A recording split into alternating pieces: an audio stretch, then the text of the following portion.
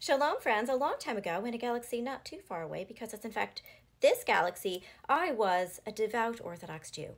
I'm not anymore, and while there are a lot of factors that contributed to that unexpected spiritual plot twist, I'm gonna be real in no small way. Twas the misogyny that got me. But leaving a community or practice doesn't necessarily mean you just stop caring, like, bye, I'm out, peace, good luck. I still closely paid attention to and supported feminist Orthodox organizations and groups who are out here trying to address the problems, to fix what is broken, to heal the hurt. And one such organization that I have so much love for is Chochmat Nashim. They advocate for agunot. They offer resources like halachic pre and post nup agreements, which are so vital for everybody to normalize. They created this brilliant project called Rate My Beit Din. It's like Yelp, but for Jewish divorce courts. Did I leave a review for the court I went to? I did. I did because I want to help other people make informed decisions and hold a very broken system accountable through transparency. Here's another thing that they do. There's this really creepy, insidious,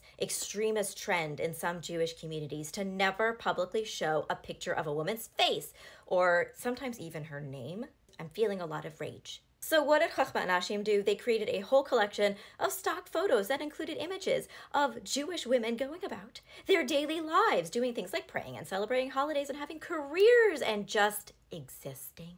Oh my god, someone get the smelling salts. On a personal level, when I started making Daf Reactions videos, people had a lot of strong negative feelings about what I was doing. And Chochmat Nashim was actually one of the first Orthodox groups to really see me to see that I had love for Judaism and Am Yisrael, and that was the driving force of my life, and you know, it was just manifesting in a slightly different, unexpected way. Right now, Chochmat Nashim is running their 2024 fundraising campaign, so they can keep doing all of these amazing projects. They can do what they do best.